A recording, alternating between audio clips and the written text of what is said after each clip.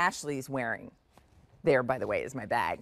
Um, what Ashley is wearing is from Laurie Felt. And just like the jeans that we're going to talk about in a moment, these are very well known high end designer. First of which is the length. And when you see it on Ashley, because while we hang our knits, we hang the knits to show you basic cardigan. And for example, the cardigan that I'm wearing, this the today special value, that vibe is totally luxe felt. That really is a designer look with the chevron the cool combo. Extra, extra small to 3X will be the size range, uh, and you let us know